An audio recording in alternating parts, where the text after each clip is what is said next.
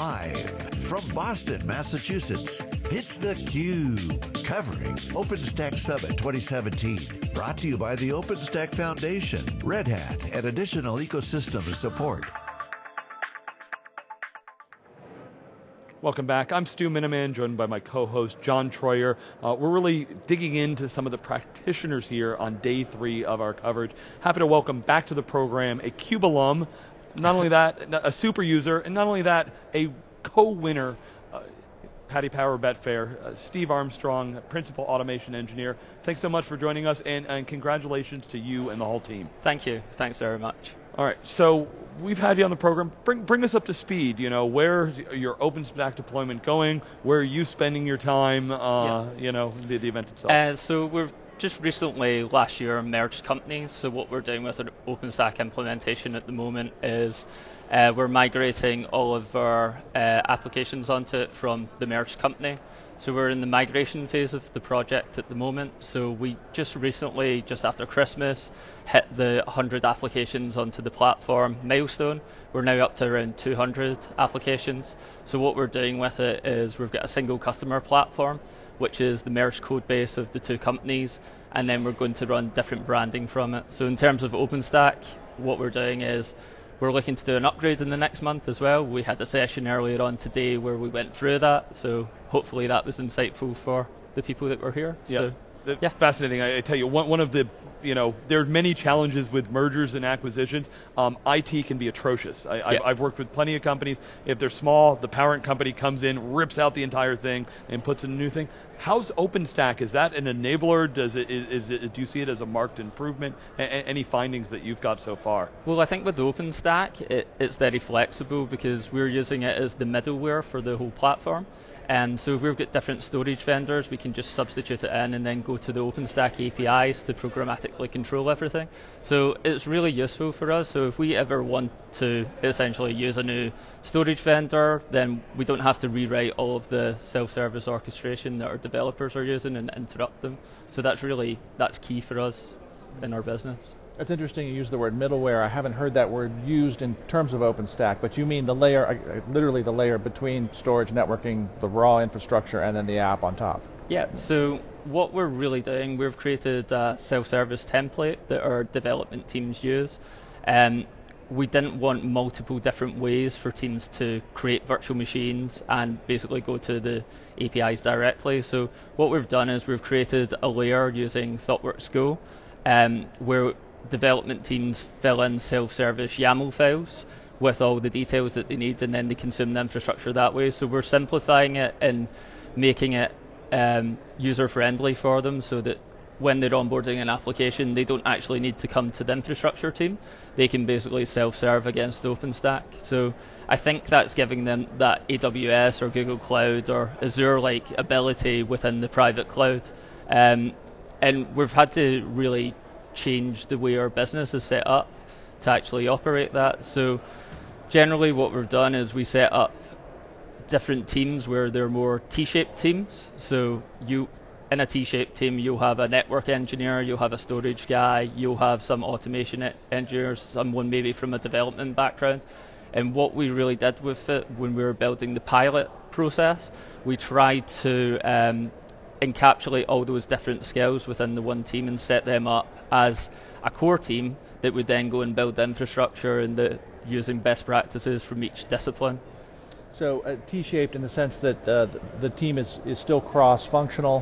What's the T of the T-shape? So the depth of the T is really the deep dive expertise. So you, you might have a network engineer who has a deep dive knowledge in that, but what we're trying to do is expand the team's breadth. So the breadth of the T is really the other disciplines that they're they're gotcha, learning gotcha. as part of that team. So well, and congrats on the award again. Thank you. Uh, as they talked about the award, some of the description of why you, you got the award, they did mention the words DevOps and CI/CD. So mm-hmm. you talked a little bit about org structure and changing your your org.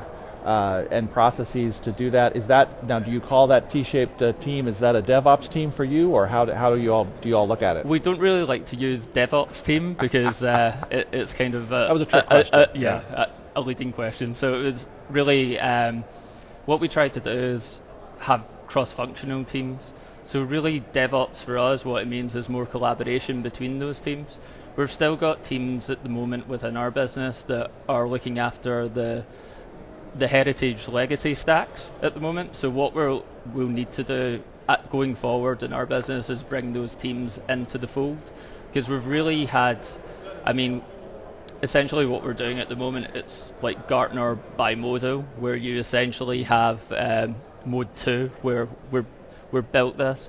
We ne- then need to take that to the next level and basically bring the people that have been looking after the other parts of the business because you need to maintain them while we're doing this new private cloud implementation along on that journey. So we're running training sessions now for our network engineers, teaching them Ansible, scaling them up. So it's really exciting times just bringing them on that journey. I, actually think that's fascinating the, because there's been a lot of talk about type bimodal, type 1 versus type 2, yeah. and how that isn't, and, the, and the, the word from the community and from the end users right, is that's not sustainable. So what yeah. you're saying is, is indeed you can organize that way, but you've got to, you've got to bring the old teams uh, Yeah, I, th- I think you can put um, names on anything, but generally that's what you'll do. You you'll stand up.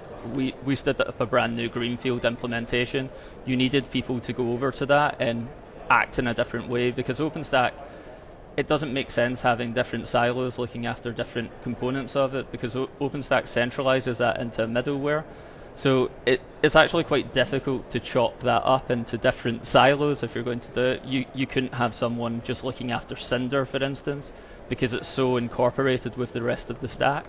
Uh, so really what we're doing is we're exposing that API layer to the de- developers and allowing them to self-serve against it, and then we look after as the core team the maintenance of it. So we've done this with a team of around eight people looking after the core platform, and then we've got multiple different teams that have went out and they help the developers onboard and migrate applications onto the platform by teaching them the self-service workflows and how to fill out all the YAML files. And then if there's any feedback from them, we use a continuous improvement model to try and get them to improve the platform continuously. So it's a continual ongoing process and it gets better and better each time and hopefully we're going to, to speed up the amount of deployments that we can do and uh, speed up time to market for it. Nice. So Steve, we, we've very much appreciated you know your organization sharing with our community. Uh, you're very active, obviously, in the super user. Uh, talk about how you interact with your peers. Uh, you know how that's helped with your learnings, kind of that, that give and take uh, that you have with the community. Yeah, so with the community, really, we, we come to these events and we generally try to be as open as possible and just talk about our lessons learned. I think OpenStack's very, it's a the OpenStack Summit's great for that because people are very honest. It's not like vendor-led uh, uh, meetups, for instance, where they'll just tell you that everything's great. Um, they're very self-deprecating in some of the sessions, but I think that honest honesty with the open source community and the continual learning that you, you get from that is re- really key to actually looking at the problem, saying, okay, we're not 100% perfect, because you never will be, and continuously improving as a community. So I think having the belief and the drive with the open source community is very key in that, um, because I, I think what you can do is if something in OpenStack isn't working the way that you want it to, you can contribute back and you can actually help make make a difference and make it better. So that's what we're trying to do. Um, there's projects such as Vitrage for root cause analysis, where at the moment they don't have a Sensu plugin. We use Sensu, so we'd be keen to contribute back and write a plugin for that project so that we can use it, and then others basically benefit from that as well. So I think that's where OpenStack's very key. You heard uh, Edward Snowden's uh, keynote, some controversial things in there, but at the same time, the premise was really if you're putting your data somewhere else, like in, in public cloud, you don't actually know what's happening with it. So that was something that resonated quite well because you have to look at what workloads you want to run in public cloud and which ones you, you can run in private cloud. So I think it will really, we're just getting on to the next stages and evolution in that journey where we will be looking at what workloads we place where, and I think that's where tools like Kubernetes are really thriving because they can place workloads wherever you want, and that's why the popularity is so high. I'm wondering if you could speak a little bit to your company's corporate culture that allows, uh, you know, kind of this movement. Uh, I think, you know, information's open. Uh, eventually, the house always wins on these bets, yeah. Uh, right? Uh, you know, with, with, so much information available. Yeah, so I think for us, the way that we've been able to do this is we've had sponsorship from CTO level and director level down. Um, it's very hard when you're doing a grassroots movement of just engineers trying to do this from the ground up. You really have to have a company that believes in this philosophy and wants to take it take it forward. Um, for us, what we really wanted to do was just create a platform that allowed our developers to innovate on it and just basically make the best uh, the best tools possible for our customers. So you're a long-time OpenStack user. Uh, this is uh, we're now here in Boston. Uh, you know, summits every six months. Anything in, in particular about mm, the mood of people, the operators here, kind of how you would like to see both. Uh, you know, we talked about Kubernetes, and you've talked about different modules that you might want to see, you know, some activity in, or uh, just how you're seeing the future path of OpenStack. What, how, how would you like the community and the project to grow? Well, I think there was a lot of presentations on standalone aspects of OpenStack. So you have Cinder standalone for block storage, you have Ironic standalone. We use some of those projects to actually build it out. So I think modularizing it and allowing it to be used, that you might not want to install all of OpenStack, but why can't you uh, install Cinder, for instance, to control block storage? And um, so I think that's really the future of it. People could take all of it, or they could take different components of it. And I think that's what we're seeing in the community. People want to be able to install Cinder to help manage it and maybe not install Neutron or Keystone alongside it. So I think that's really where OpenStack is going. It, will be a modular microservice framework that makes it up and you can install the bits that you want for in the projects that you want. We've also seen a consolidation of projects. There, there was also talk around um, essentially making projects simpler and removing features. I think when we originally had OpenStack, we just tried to throw every feature pro- possible in, and then you've seen a sprawl of projects, and then that's not maintainable.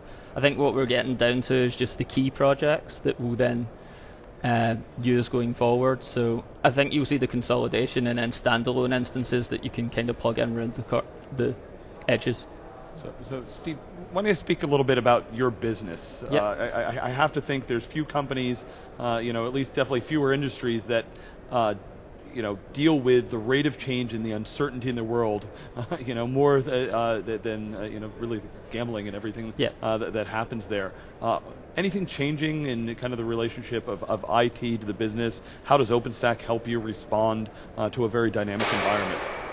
Yeah, so I think the key thing for us is if one of our competitors has a feature and we can't compete with that feature, we just will lose our customers to that competitor. So really being able to change and use OpenStack to change the platform and get new products out to market as quickly as possible is, is very key for us in that. Um, generally, OpenStack, it, it's helping us. We want an active-active data center we we have a 24/7 business. We really need to have that uptime. If we're down at any sporting event, our customers will go somewhere else to place bets. So that's really key. Um, for us, we have used OpenStack across two data centers and built that out. And what we're looking to do is scale that out horizontally. So, for instance, when we've got um, new applications coming up on board. We can just scale out new racks using OpenStack. We use Ironic. We're completely controlling the whole data center programmatically. And that allows us the ability to scale up the infrastructure to meet the demands so that people are not waiting on tickets or not having the internal IT processes that are hindering most most other firms. So that's really where OpenStack is allowing us to evolve. It's that flexibility in having a private cloud just like you would a public cloud with AWS, but we've got that in-house. So I think we're quite lucky, and I keep telling the, the graduates that are working on this, this is a once in a lifetime project, and I don't think they'll really believe me until they get their next job. So I think they've they've been quite spoiled in this as well. Steve Armstrong, really appreciate you joining us uh, okay. again on, on, the program. And once again, congratulations to Paddy Power Betfair and, and, and, the whole team. And John and I will be back with more coverage here from the Open OpenStack Summit 2017 in Boston, Massachusetts. You're watching theCUBE.